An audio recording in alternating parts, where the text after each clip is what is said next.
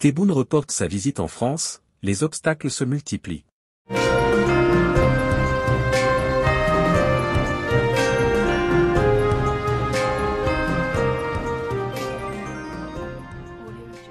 Initialement prévue pour début mai 2023, la visite du président algérien Abdelmajid Tebboune en France a été décalée au mois de juin.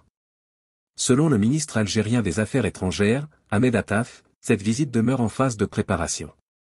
Invité par la journaliste Khadija Baghena sur la plateforme Ater d'Al Jazeera le 27 décembre, Attaf a souligné que les conditions actuelles ne sont pas favorables à cette rencontre. Il a énuméré cinq principaux dossiers préalables pour la concrétisation de cette visite présidentielle. Parmi ces dossiers figurent des questions sensibles telles que la mémoire, la mobilité, la coopération économique, les essais nucléaires français dans le Sahara algérien et la restitution d'artefacts historiques, notamment l'épée et le burnous de l'émir Abdelkader.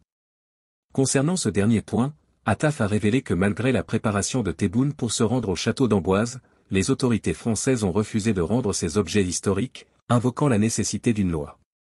Par ailleurs, l'Algérie cherche également des réparations pour les conséquences des essais nucléaires français effectués sur son territoire entre 1960 et 1966.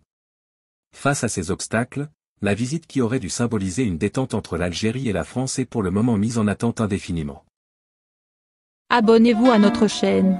Cliquez sur la cloche pour rester au courant de l'actualité algérienne.